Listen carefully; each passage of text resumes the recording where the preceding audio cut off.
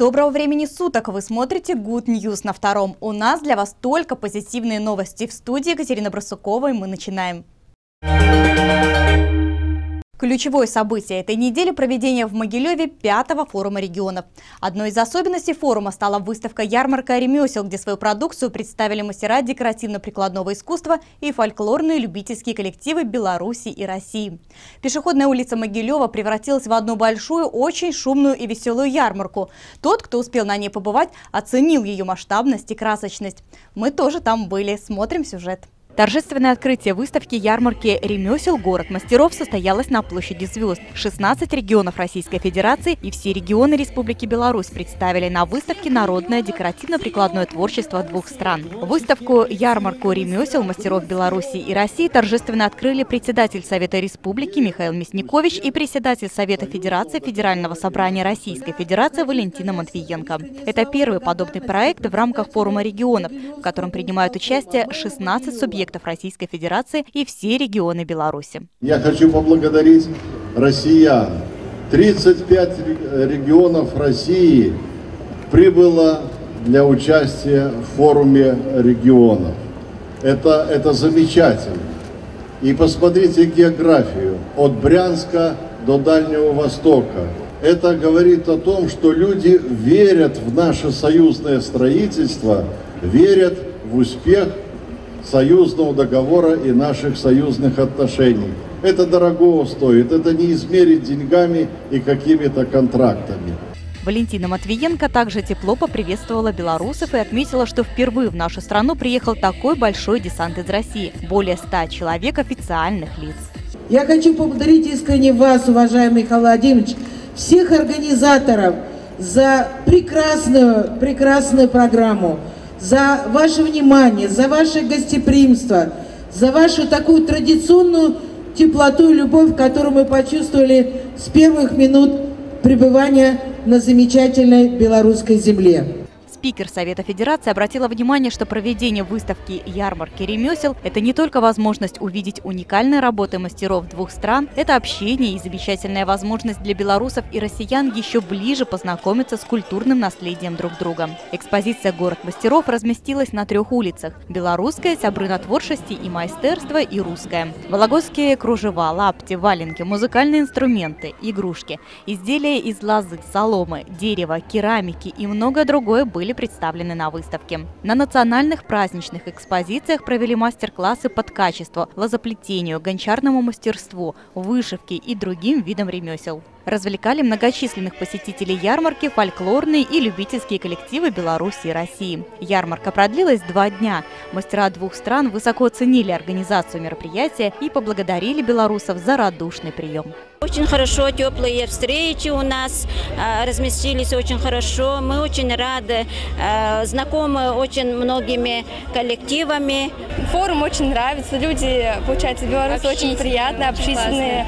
Все аккуратно, красиво, атмосфера насыщенная программа и народы. Это действительно большой форум, в котором собрались не только регионы Республики Беларусь, но и огромное количество российских регионов представлено. Мы желаем форуму процветания многое лето, счастья, здоровья всем участникам и организаторам. Не ожидали такого гостеприимства и такой искренней любви по отношению э, к нам, к русским людям. Очень приятно. Приглашаем вас в гости к нам. Все мы славяне, и душа наша едина.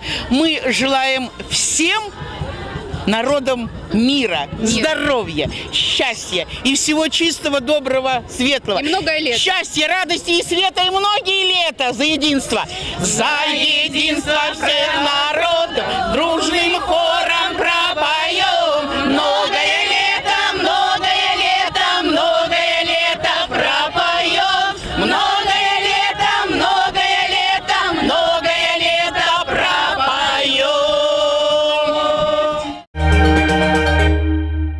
пятому форуму регионов Могилев заметно преобразился. Завершилось строительство сразу нескольких крупных объектов, таких как лестница в Подниколье, корпус БРУ и Триумфальная арка, которую торжественно открыли на этой неделе. 20-метровый памятник приурочен к 750-летию областного центра. На въезде и выезде она украшена барельефами знаковых элементов – гербом Могилева, орденом Отечественной войны первой степени и орденом Ленина, которым награждена Могилевская область.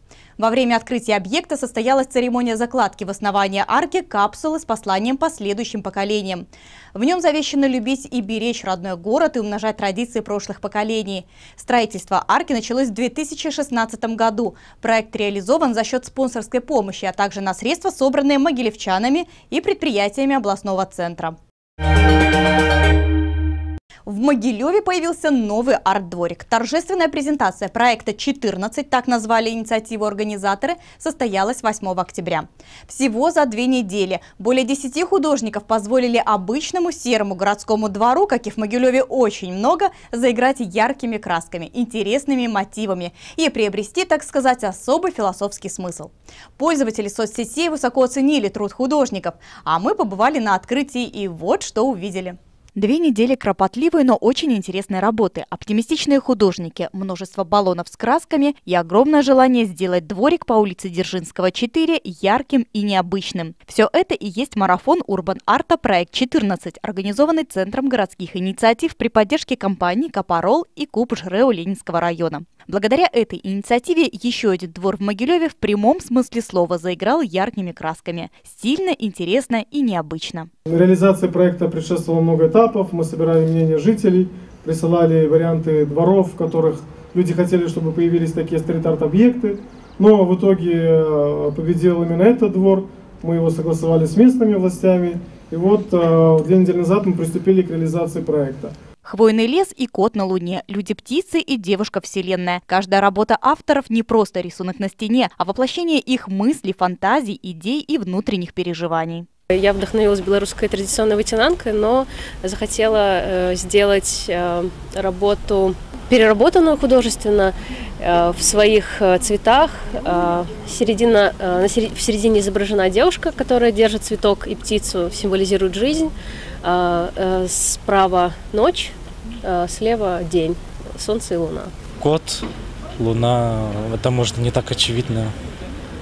Человечек на крыше пускает воздушного змея, птицы, свобода. Это то, что в, в принципе я э, уважаю в жизни и люблю больше всего. В основе фраза Стива Джобса, она нас зацепила, э, вот, и мы изобразили два жизненных пути. То есть абстракция идет от фразы «сама собой», снизу, то есть путь у нас не неоднородный, не постоянный, он тернистый, сложный, поэтому в виде вот таких переплетений, всяких фигур, то есть он э, идет по нарастающей, и жизнь от этого насыщенная, яркая, интересная. Олицетворила птиц э, людьми, точнее людей птицами, э, и раскрыла их самобытность, их фантазии, полет воображения – то есть вот красные птички, это мы все такие одинаковые на улице ходим, похожие друг на друга, а центральная птица – это наша сущность, э, то, что нас отличает друг от друга, наша индивидуальность.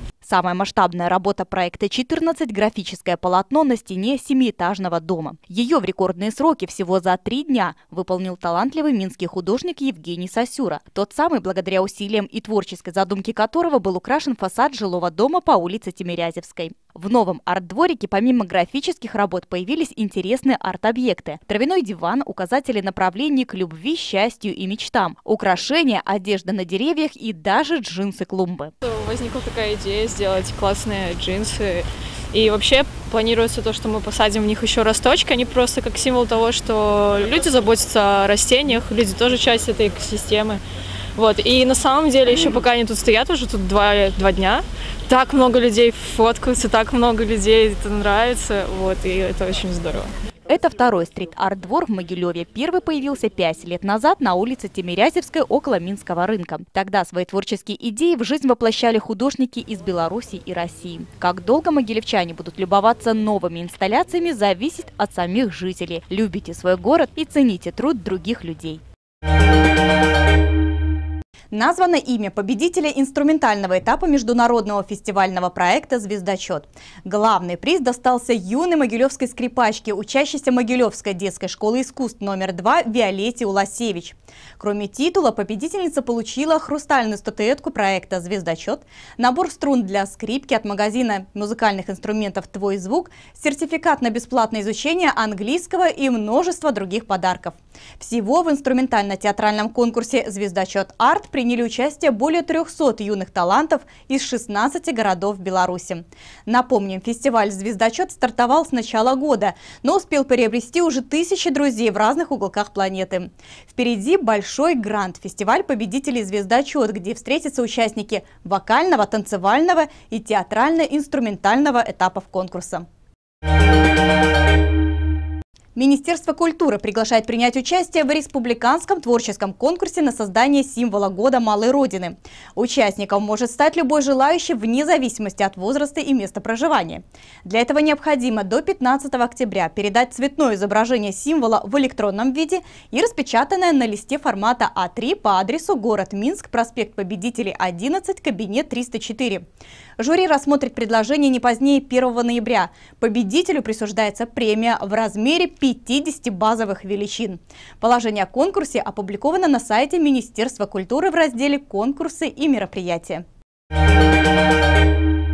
На сегодня у нас все. Желаем всем только хороших новостей. Смотрите Good News и живите на позитиве. До встречи!